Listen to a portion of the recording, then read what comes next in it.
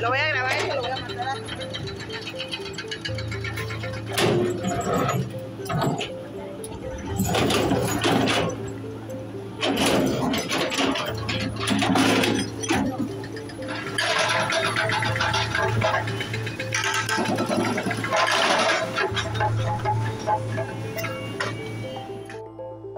Nos vinieron a, ahora sí que a quitarnos el sueño, ¿verdad? Porque este, vinieron apoderados de la Subsecretaría de, Obras Públicas a querer intimidarnos, a lo que fue este, quitar un pedazo de nuestra vivienda, lo cual no podían hacer porque se supone que tenemos un amparo que nos defiende, más que nada mi abuelita, que es la que es la afectada principalmente.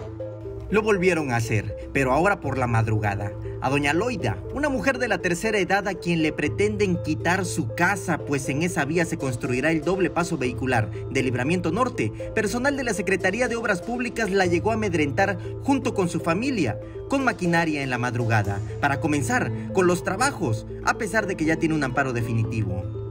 que personal de la Secretaría sí, estaba eh, aquí realizando unos trabajos de desmantelación del inmueble. Y como podemos observar, eh, con motivo de que me apersoné, únicamente lograron rasgar parte de lo que es la propiedad de la señora. Hay aproximadamente un daño dentro del inmueble como de unos 3 metros. Obras Públicas de Ángel Torres Culebro violó el amparo, a pesar de que ya tienen conocimiento que la casa de Doña Loida no la pueden tocar de manera momentánea.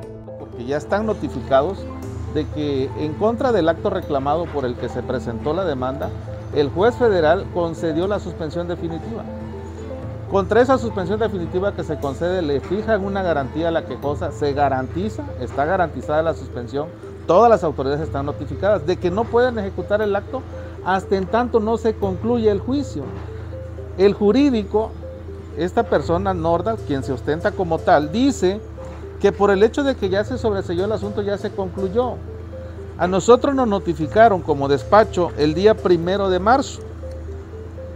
Nos notifica el juzgado federal sí, el resolutivo de la sentencia que él emite, pero tenemos que ser congruentes. La decisión del juez federal es su criterio. La actitud del personal de obras públicas fue déspota, de acuerdo con lo declarado por la nieta de Doña Loida, quien vivió momentos de angustia en la madrugada ante la intimidación.